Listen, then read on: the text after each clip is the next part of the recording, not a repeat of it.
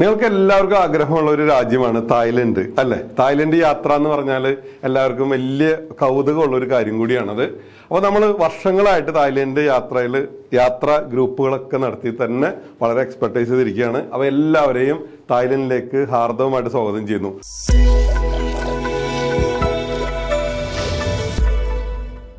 മുന്നോട്ടുള്ള മാസങ്ങൾ എല്ലാം നമ്മുടെ ക്രിസ്മസും അതുപോലെ തന്നെ ന്യൂ ഇയർ ഒക്കെ അടിച്ചു പൊളിക്കാനായിട്ടുള്ള ധാരാളം പാക്കേജുകൾ നമ്മൾ അനൗൺസ് ചെയ്തിട്ടുണ്ട് കേട്ടോ ഈ കാണുന്ന നമ്പറുകളിൽ വിളിച്ചു കഴിഞ്ഞാൽ വിശദമായിട്ടുള്ള കാര്യങ്ങൾ നിങ്ങൾക്ക് പറഞ്ഞു തരും. എല്ലാവരും എപ്പോഴും ചോദിക്കുന്നതാണ് എന്തുകൊണ്ട് തായ്ലൻഡിന് ഇത്രയധികം ഫോക്കസ് ചെയ്ത് വർക്ക് ചെയ്യുന്നു എന്നുള്ളത്? തീർച്ചയായിട്ടും എന്നെ സംബന്ധിച്ചോളം ഞാൻ ഏറ്റവും കൂടുതൽ സന്ദർശിച്ചിട്ടുള്ള രാജ്യമാണ് തായ്ലൻഡ്. മറ്റൊന്നുമല്ല വ്യത്യസ്തമായിട്ടുള്ള സംസ്കാരം വ്യത്യസ്തമായിട്ടുള്ള ഭക്ഷണ രീതികൾ. എല്ലാ നിലക്കും എല്ലാ നിലക്കും ഒരു മനുഷ്യന് ഏതൊക്കെ നിലയിൽ എൻജോയ് ചെയ്യാൻ സാധിക്കും. അതെല്ലാം തായ്ലൻഡിൽ ലഭ്യമാണ്. എന്ന് പറയുമ്പോൾ നിങ്ങൾ നെറ്റി ചുളിക്കേണ്ട കാര്യമില്ല കേട്ടോ. പ്രത്യേകിച്ചും എടുത്തു പറയേണ്ട കാര്യം തന്നെ അവരുടെ ആ ഒരു കൾച്ചർ അത് എടുത്തു പറയേണ്ട ഒരു കാര്യം തന്നെയാണ്. നമ്മൾ ഏതൊരു ചെറിയ ഷോപ്പിൽ ചെന്നിട്ട് ഒരു പത്ത് രൂപയുടെ ഒരു സാധനം മേടിച്ചാൽ പോലും അവർ നമുക്ക് തരുന്ന ആ റെസ്പെക്റ്റ് അത് വളരെ വലുതാണ്. പിന്നെ ഉള്ളത് ഭക്ഷണം. പിന്നെ തന്നെ കണ്ടാൽ തന്നെ അറിയാലോ. ഭക്ഷണം എന്ന് പറഞ്ഞു കഴിഞ്ഞാൽ ഒരു വർഷത്തിൽ ഏതാണ്ട് നാലര ലക്ഷത്തോളം ആളുകളാണ് ഫുഡ് മാത്രം എക്സ്പ്ലോർ ചെയ്യാൻ വേണ്ടിയിട്ട് തായ്ലൻഡിൽ വരുന്നു എന്നാണ് പറയപ്പെടുന്നത്. അത് ഒഫീഷ്യലി അൺഒഫീഷ്യലി അതിന്റെ നാലും അഞ്ചും ഇരട്ടിയാണ്. അതായത് ഈ പത്ത് ഇരുപത്തഞ്ച് മുപ്പത് ലക്ഷത്തോളം ആളുകളാണ് തായ്ലൻഡിൽ അവിടുത്തെ ഭക്ഷണം മാത്രം എക്സ്പീരിയൻസ് ചെയ്യാൻ വേണ്ടി വരുന്നത്. എന്തായാലും ആ രാജ്യത്തിന്റെ ഒരു പ്രത്യേകത എന്ന് പറഞ്ഞാൽ ആ രാജ്യത്തിന്റെ ജനസംഖ്യയുടെ അത്രത്തോളം അല്ലെങ്കിൽ അതിന്റെ പകുതിയിലധികം തന്നെ ആളുകൾ മറ്റു രാജ്യങ്ങളിൽ നിന്ന് ടൂറിസ്റ്റുകളുമായിട്ട് വരുന്നുണ്ട് എന്നുള്ളതാണ് കേട്ടോ. ഉദാഹരണത്തിന് ഇപ്പം മൂന്ന് കോടി ജനങ്ങൾ അവിടെ ഉണ്ടെങ്കിൽ ഏതാണ്ട് ഒന്നര കോടി ടൂറിസ്റ്റുകൾ അവിടെ വന്ന് സന്ദർശിച്ച് പോകുന്നു എന്നുള്ളത്. ഒന്ന് നോക്കിയേ. അപ്പോൾ തന്നെ അവിടുത്തെ ബിസിനസ് സാധ്യതകളും ടൂറിസത്തിന്റെ സാധ്യതകളൊക്കെ എത്ര മാത്രമാണെന്ന് നിങ്ങൾക്ക് ഓരോരുത്തർക്കും ഊഹിക്കാവുന്നതാണ്. പിന്നെയുള്ള കാര്യം എന്ന് വെച്ചാൽ ലോകത്തിലെ ഏറ്റവും കുറഞ്ഞ ചെലവിൽ അടിച്ചു പൊളിക്കാവുന്ന ഒരു സ്ഥലം. അടിച്ചു പൊളിക്കുന്ന ഭക്ഷണം വളരെ ചീപ്പാണ്. അതുപോലെ അവിടെ കറങ്ങി നടന്ന് കാഴ്ചകൾ കാണുക അവിടെ താമസിക്കുക അങ്ങനെ തുടങ്ങിയിട്ടുള്ള അഡ്വഞ്ചറസ് ആക്ടിവിറ്റീസ് ഇനി അവിടെ ബിസിനസ് തുടങ്ങണം. അങ്ങനെ എല്ലാ നിലക്കും തായ്ലൻഡ് വളരെ കംഫർട്ടബിൾ ആണ് കേട്ടോ ഇത് പറയുമ്പോൾ ബിസിനസ് എന്ന് പറഞ്ഞിട്ട് ആരും വിളിക്കാൻ നിൽക്കണ്ട. കാരണം ബിസിനസ്സിന് നമ്മൾ പ്രിഫർ ചെയ്യുന്ന സ്ഥലം നമ്മൾ ജോർജിയാണ് കേട്ടോ ജോർജിയയിൽ നിങ്ങൾക്ക് സ്ഥലം മേടിക്കാം ബിസിനസ് ചെയ്യാം. അതിനുള്ള സാധ്യതകൾ നമ്മൾ ഒരുക്കിയിട്ടുണ്ട്. അതിനും ഈ നമ്പറുകളിൽ തന്നെ വിളിച്ചാൽ മതി. അപ്പോൾ തായ്ലൻഡിലേക്ക് വരുമ്പോഴും നിങ്ങളുടെ ജീവിതത്തിൽ എവർഗ്രീൻ മെമ്മറബിൾ ഡേയ്സ് ആയിരിക്കും നിങ്ങളുടെ തായ്ലൻഡ് യാത്ര. പണ്ടൊക്കെ ബാച്ചിലേഴ്സും മാത്രമാണ് തായ്ലൻഡ് പ്രിഫർ ചെയ്തിരുന്നത് അല്ലേ? ഇന്ന് ഞങ്ങളെ സംബന്ധിച്ചോളം എൺപത് ശതമാനത്തോളം ഫാമിലീസാണ് നമ്മളോടൊപ്പം യാത്ര ചെയ്യുന്നത്. അപ്പോൾ നിങ്ങളുടെ മനസ്സിലുണ്ടായിരിക്കും തായ്ലൻഡ് അതൊരു സെക്സ് ടൂറിസത്തിന്റെ നാട് എന്നുള്ളൊരു ലേബൽ നിങ്ങൾ ഒരു പക്ഷെ കാരണം മറ്റൊന്നുമല്ല പല സിനിമകളിലൊക്കെ ആ ഒരു മീനിങ്ങിലാണ് അതിനെ അതിനെ എന്താ പറയുക ആ ഒരു രീതിയിലാണ് അവതരിപ്പിച്ചിരിക്കുന്നത്. പക്ഷെ തികച്ചും അതല്ല. അത് ഓരോരുത്തരുടെ കാഴ്ചപ്പാടുകളാണ് അത്തരത്തിൽ ചിന്തിപ്പിക്കുന്നതും. തീർച്ചയായിട്ടും വളരെ ഫാമിലി ഫ്രണ്ട്ലി ആയിട്ടുള്ള ഒരു രാജ്യം. ചെറിയ രണ്ട് വയസ്സുള്ള കുട്ടികൾ മുതൽ എൺപത് വയസ്സുള്ള ആളുകൾക്ക് വരെ ഒരേപോലെ സന്തോഷിക്കാവുന്ന എൻജോയ് ചെയ്യാവുന്ന ഒരു രാജ്യം. രണ്ട് വയസ്സുള്ള കുട്ടി മുതൽ എൺപത് വയസ്സ് വരെയുള്ളവർക്ക് ഒരേ ഒരുമിച്ച് ഒരേപോലെ സന്തോഷിക്കാവുന്ന ഒരു രാജ്യം. വളരെ സേഫ് ആയിട്ടുള്ള ഒരു രാജ്യം. വേറെ ഒന്നും പറയാനില്ല.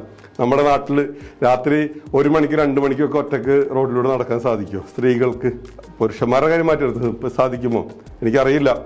അതിന്റെ എത്രമാത്രം അതിന്റെ ഒരു ആൻസർ നിങ്ങൾ എന്ത് തരുമെന്നുള്ളത് പക്ഷെ നിങ്ങൾ അവിടെ രാത്രി ഒരു മണിക്കും രണ്ട് മണിക്കും മൂന്ന് മണിക്കും ഒക്കെ റോഡിലൂടെ നടന്നു. നിങ്ങൾ ഒരാളും ഒന്നും തന്നെ ചെയ്യുകയില്ല മൈൻഡ് പോലും ചെയ്യുകയില്ല. നിങ്ങൾ നൂറ് ശതമാനം സേഫാണ് സെക്യൂറാണ്.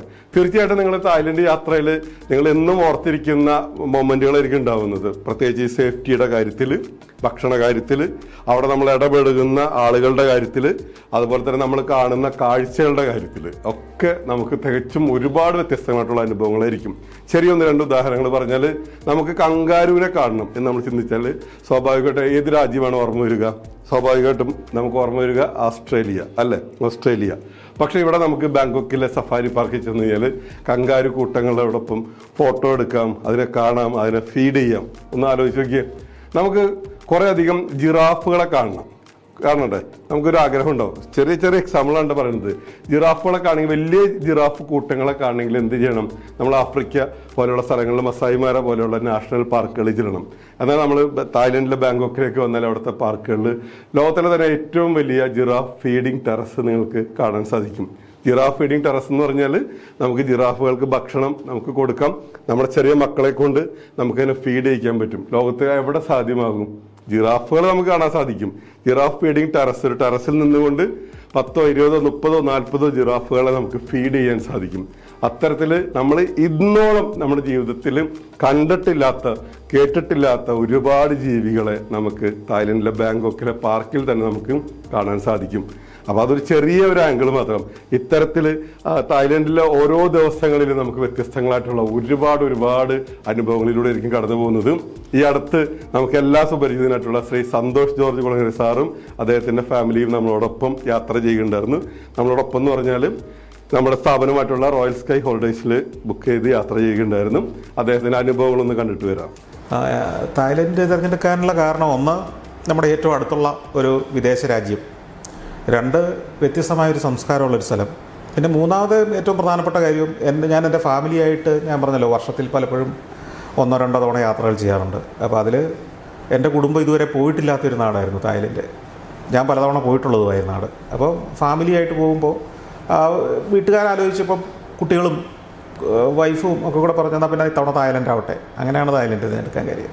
തീർച്ചയായിട്ടും. ഞാനിപ്പോൾ അത് യാത്രകൾ ശരിക്കും എൻജോയ് ചെയ്തു. സാറിന്റെ ഫാമിലി ഇപ്പോൾ അവർക്കൊക്കെ തായ്ലൻഡിൽ പോകും മുമ്പൊക്കെ പല കാഴ്ചപ്പാടുകൾ ഉണ്ടായിട്ടിരിക്കും തീർച്ചയായിട്ടും ആ ഒരു യാത്രയിൽ അവരുടെ മനോഭാവം എന്താണെന്ന് സാറിന് മനസ്സിലാക്കാൻ സാധിച്ചോ? അല്ല തായ്ലൻഡിൽ പോകുന്നതിന് മുമ്പും അവർക്ക് തായ്ലൻഡിനെ കുറിച്ച് വേറെ മോശം അഭിപ്രായമില്ല. കാരണം അവർ സ്ഥിരം യാത്ര ചെയ്യുന്ന ആളുകളാണ് അതുകൊണ്ട് തന്നെ ഒരു നാടിനെ മുൻവിധിയോടെ ഇവിടെ നിന്ന് സമീപിക്കാറില്ല. ഏത് നാട്ടിലും വളരെ നല്ല അനുഭവങ്ങളുണ്ടാവും. പിന്നെ അപൂർവം മോശം കാര്യങ്ങളിൽ നിന്ന് നമ്മൾ കരുതുന്നത് ചിലപ്പോൾ ഉണ്ടാവാം അതൊക്കെ നമ്മൾ എന്ത് തിരഞ്ഞെടുക്കുന്നതല്ലേ ആശ്രയിക്കുന്നത്? ഇപ്പോൾ ഒരു റെസ്റ്റോറന്റിൽ കയറിയാൽ ഏറ്റവും മോശം ഭക്ഷണം തന്നെ തിരഞ്ഞെടുക്കണമെന്നില്ല ഒരാൾ യെസ് അവന് ഇഷ്ടമുള്ള നല്ലത് തിരഞ്ഞെടുക്കാം.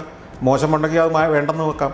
അപ്പോൾ അത് നമ്മളാണ് സെലക്ഷൻ എന്നിട്ട് ഹോട്ടലിലെ ഏറ്റവും മോശം ഭക്ഷണത്തെക്കുറിച്ച് നമ്മൾ വിലയിരുത്തൽ നടത്തേണ്ട കാര്യമില്ലല്ലോ.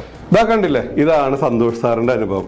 ലോകം മൊത്തം ചുറ്റിക്കറങ്ങി കണ്ട ഒരാൾ തായ്ലൻഡിനെ പറ്റി പറഞ്ഞത് കേട്ടില്ല ഇത് ഇതുപോലെ നിങ്ങൾ ഓരോരുത്തരും പറയും. പറയിപ്പിക്കാൻ നമുക്കറിയാം. മറ്റൊന്നുമല്ല നമ്മൾ തരുന്ന സൗകര്യങ്ങൾ നമ്മൾ ഒരുക്കുന്ന എന്താ പറയുക നിങ്ങൾക്ക് വേണ്ടി നമ്മൾ ഒരുക്കുന്ന ഒരുപാട് ഒരുപാട് കാര്യങ്ങളുണ്ട്.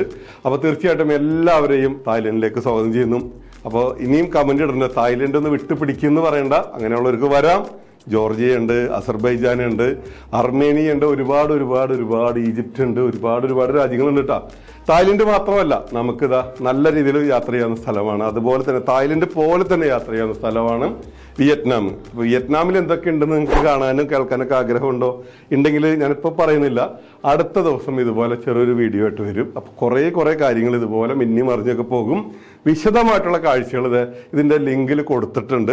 ഇതിക്ക് മുമ്പ് നമ്മൾ ആ സ്ഥലങ്ങളൊക്കെ സന്ദർശിച്ചപ്പോൾ ചെയ്ത വീഡിയോസിന്റെ എല്ലാ ഡീറ്റെയിൽസും കൊടുത്തിട്ടുണ്ട് കേട്ടോ. അതൊക്കെ ഒന്ന് ക്ലിക്ക് ചെയ്തൊന്ന് കാണാൻ ശ്രമിക്കൂ. വരും ദിവസങ്ങളിൽ ഓരോരോ രാജ്യങ്ങളിലെ പ്രത്യേകതകളും യാത്രകളുടെ വിശേഷങ്ങളൊക്കെ ആയിട്ട് ഞാൻ ഉണ്ടായിരിക്കും. അപ്പോൾ എല്ലാവരും ഒന്ന് കണ്ട് സപ്പോർട്ട് ചെയ്യണം. ചാനൽ ഇതുവരെ സബ്സ്ക്രൈബ് ചെയ്യാത്തവർ ഒന്ന് സബ്സ്ക്രൈബ് ചെയ്യണം. ഫേസ്ബുക്കിൽ ഇൻസ്റ്റയിലും ഒക്കെ ഉണ്ട് കേട്ടോ. അപ്പോൾ നല്ല സപ്പോർട്ട് തന്നു കഴിഞ്ഞാൽ നല്ല നല്ല വിശേഷങ്ങളായിട്ട് നമ്മൾക്ക് അടിച്ചു പൊളിക്കാം ഓക്കെ